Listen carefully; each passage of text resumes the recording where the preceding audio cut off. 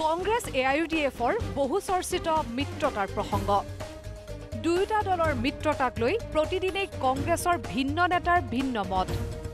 এদিন যদি এজন নেতাই কয় মিত্ৰতা লাগে সিদ্ধান্তটো এ আই চি চিলৈ আমি ঠেলিবই লাগিব যিহেতু অল অভাৰ ইণ্ডিয়াৰ নিৰ্বাচন এইটো লোকসভা।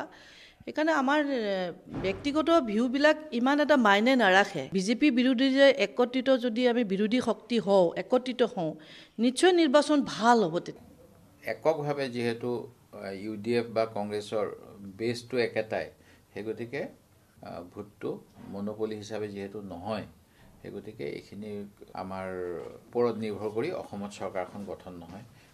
তেনেহলে আনদিনা আন এজন নেতাই কয় মিত্ৰতা নালাগে। কংগ্ৰেছৰ সভাপতি ডাঙৰীয়াৰ পৰা আৰম্ভ কৰি আমাৰ ৰাজ্যৰ সকলো জ্যেষ্ঠ নেতাসকলে স্পষ্টভাৱে কৈ দিছে আমি আহি থকা সকলো নিৰ্বাচনত ইউ ডি এফ দলৰ লগত কোনো মিত্ৰতা নকৰোঁ। কংগ্ৰেছৰ এজন এজন নেতাই বাৰে বাৰে সলাইছে মত। বিগত চৌব্বিছ ঘণ্টাৰ ভিতৰতে দুবাৰকৈ মত সলনি কৰিলে বিৰোধী দলপতি দেৱব্ৰত শইকীয়াই। দেওবাৰে কৈছিল যে এ আই ইউ ডি এফৰ ন' এণ্ট্ৰি আমাৰ নিখিল ভাৰত কংগ্ৰেছ কমিটিৰ সাধাৰণ সম্পাদক জিতেন্দ্ৰ সিং ডাঙৰীয়াই মিত্ৰতা নহয় বুলি স্পষ্টভাৱে উল্লেখ কৰিলে। আহ, পৃথ্বীৰাজ প্ৰভাকৰ সাথে তেখেতে মুকলিকৈ ৰাজহুৱা সভাত আমি মিত্ৰতা কৰি ভুল কৰিছিলোঁ বুলি স্পষ্টীকৰণ দিয়া মই দেখিছোঁ। কিন্তু চৌব্বিছ ঘণ্টাৰ ভিতৰতেই লাহে লাহে নৰম হৈছে কংগ্ৰেছ আৰু বিৰোধী দলপতি দেৱব্ৰত শইকীয়া। আজি ক'লে আমাৰ ভোট বেংক একেটাই। অৰ্থাৎ দেৱব্ৰত শইকীয়াই বুজাবলৈ বিচাৰিছে যে কংগ্ৰেছ এ আই ডি এফৰ ভোট বেংক কেৱল সংখ্যালঘু। এককভাৱে যিহেতু ইউ ডি এফ বা কংগ্ৰেছৰ বেছটো একেটাই সেই গতিকে সেইখিনিৰ মাজত হ'লেও মই যিটো কথা কৈছোঁ ভোটটো মনোপলি হিচাপে যিহেতু নহয় সেই গতিকে এইখিনি আমাৰ ওপৰত নিৰ্ভৰ কৰি অসমত চৰকাৰখন গঠন নহয়। আৰু সেয়েহে ভূপেন বৰাই ক'লেই এতিয়া নহ'ব পলিটিকেল এফেয়াৰ্ছ কমিটিৰ সিদ্ধান্তই হ'ব চূড়ান্ত। কাৰণ দেৱব্ৰত শইকীয়াৰ মতে এজন দুজন নেতাৰ সিদ্ধান্ত মতে গৈ অসমত কেতিয়াও চৰকাৰ গঠন কৰিব নোৱাৰে কংগ্ৰেছে।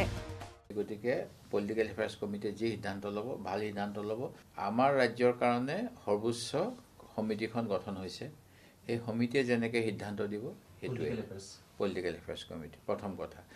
ইয়াৰ মাজতে ঢিঙৰ A I U D F বিধায়ক আমিনুল ইছলামে ক'লে বিগত লোকসভা নিৰ্বাচনত এ আই ইউ ডি এফৰ সৈতে থকা মিত্ৰতাৰ বাবেই কলিয়াবৰ আৰু নগাঁৱত কংগ্ৰেছৰ জয় সম্ভৱ হৈছিল।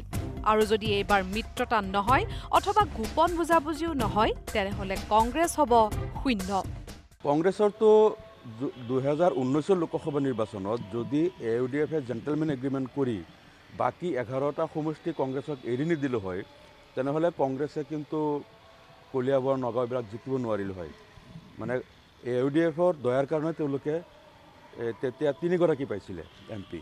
গতিকে এইবাৰ যদি তেওঁলোকে মিত্ৰতা নকৰে কংগ্ৰেছে যদি এ ইউ ডি এফৰ বিৰুদ্ধে যুদ্ধ কৰে। এইবাৰ শূন্যও হ'ব পাৰে এইটো সময়ে দেখুৱাই দিব। তেওঁলোকেও শিক্ষা ল'ব আপোনালোকে চাই থাকক।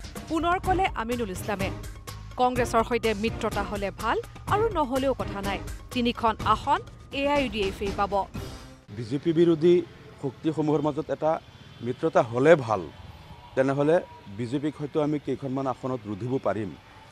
নহ'লেও এ ডি এফ দলে আম- আমাৰ কাৰণে একো কথা নাই। আমি দুহেজাৰ চৈধ্যত যেনেকৈ তিনিজন এম পি পাইছিলোঁ আমি এইবাৰো কমপক্ষেও তিনিগৰাকী পাম বুলি আমি আশাবাদী। কংগ্ৰেছ এ আই ডি এফৰ মিত্ৰতা হ'ব নহ'ব ইয়াকে লৈ চৰ্চা চলি থকাৰ মাজতেই কংগ্ৰেছৰ বিৰুদ্ধে ক্ষোভ উজাৰিলে নিলম্বিত বিধায়ক শ্বেৰমান আলী আহমেদে। কংগ্ৰেছে কেৱল মিয়াক লৈ ৰাজনীতি কৰি আছে। কংগ্ৰেছী বিধায়কবোৰে এটা প্ৰশ্ন কৰিবলৈ সাহস নাপালে। ভূপেন বৰাৰ দ্বাৰা এটা স্পষ্টীকৰণ দিয়াবলৈ তেওঁলোকৰ সাহস নহ'ল গতিকে মিয়া ৰাইজে যেতিয়ালৈ মিয়া নেতাবোৰক এই ব্ৰহ্মপুত্ৰ নদীত দলিয়াই নিদিব তেতিয়ালৈ মিয়া জাতিৰ উদ্ধাৰ নাই। মুঠৰ ওপৰত Congress A I U D এফৰ মিত্ৰতাক লৈ এতিয়া শীৰ্ষ নেতাৰ মাজতেই মত বিভাজন স্পষ্ট। আজি দেৱব্ৰত শইকী শইকীয়াৰো যিটো ভাষ্য যে এই সিদ্ধান্ত আমাৰ নহয় আমাৰ কেন্দ্ৰীয় নেতৃত্বই এই সিদ্ধান্ত ল'ব। মোৰ কথা হ'ল যে ভূপেন বৰা ডাঙৰীয়াৰ কথা চলে নচলে মই নাজানো। কিন্তু কংগ্ৰেছ আৰু ইউ ডি এফ একেলগে তেওঁলোকে পলিটিকেলি তেওঁলোকে এটা খুব ভাই ককাইৰ লেখীয়া কাম কৰি আছে। আজি এই ধৰণৰ বক্তব্যবিলাকে ইতিমধ্যে অসমৰ ৰাইজে গম পাইছে যে কংগ্ৰেছ মুছলমান বাংলাদেশৰ মুছলমানৰ যদি বিধায়ক লগত নাথাকে তেতিয়াহ'লে কংগ্ৰেছ দলটোৱে ভৱিষ্যত অসমত শাসনলৈ আহিব নোৱাৰে।